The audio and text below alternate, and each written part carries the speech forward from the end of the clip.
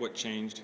Uh, you know, I think um, together we tried we tried to pull together and, and looked at video and you know seen the mistakes that we made in Saginaw and you know tried to correct them and uh, really focus on playing good D and you know um, obviously offense will come from that. So I think uh, you know our special teams has been off a bit and you know tonight even we let another uh, you know a couple goals on, on on the PK and we've been trying to fix that. So I think uh, altogether the guys worked harder and uh, tried to come together tonight and pull it a win.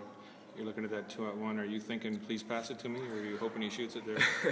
you know, I don't know. I think uh, DG, uh, you know, he kind of slid over. I don't know how he got it to me. The guy put a stick down, but it was a nice pass, and uh, you know, I was kind of waiting for it because I opened up, but you know, he got it over to me, and it was a nice pass, and I just put it on net. So, it's a team that's caused you a lot of frustration in three games this year. yeah, I think they've had a number uh, this year, and um, they've been a team that's uh, you know somehow you know pulled off the win against us, and um, even when we were up three one, they got a couple back, and uh, after that we, we kind of decided that you know let's get a couple goals and really try to protect the lead this time instead of uh, you know thinking offense all the time, and